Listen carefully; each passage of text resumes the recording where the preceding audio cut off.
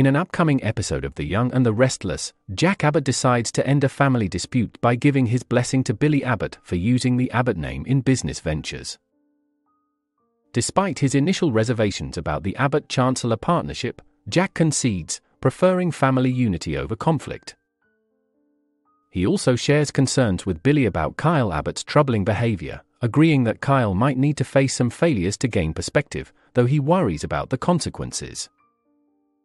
At the Genoa City Athletic Club, Summer Newman discusses her custody challenges with Chance Chancellor.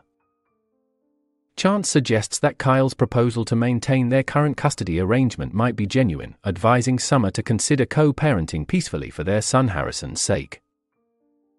He also cautions her about the uncertainties of legal battles over custody. Meanwhile, Victoria Newman speaks with Claire Grace at the park, touching on professional opportunities and personal decisions, such as Claire considering adopting the Newman family name, which delights both Victoria and later Victor and Nikki Newman when they learn of it. The plot thickens when Summer, encountering her cousin Claire, probes her about Kyle's business dealings with Audra Charles, expressing her need to know if there are any underlying issues.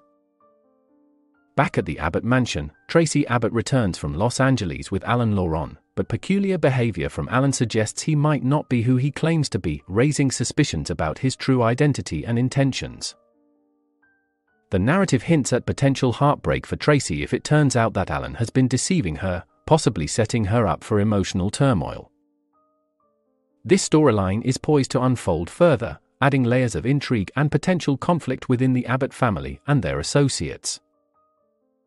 The Young and the Restless continues to weave complex interpersonal dynamics and suspenseful plots, promising more twists and emotional developments for its characters.